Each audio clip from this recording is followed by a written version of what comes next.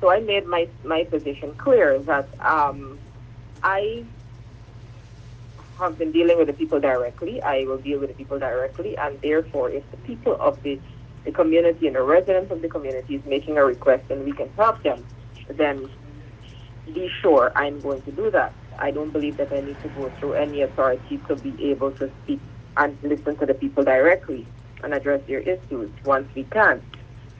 And bring development, I made it also clear that we are there for development. Myself, my presence in the community on behalf of government is there for development of the community.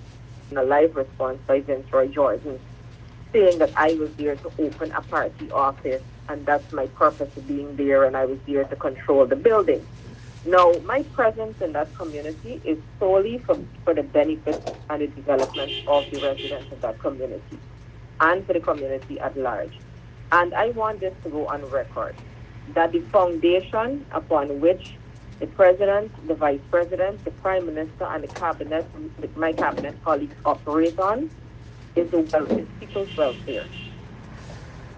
And so our presence in any community across this country is to make a meaningful contribution or an impact on people's lives.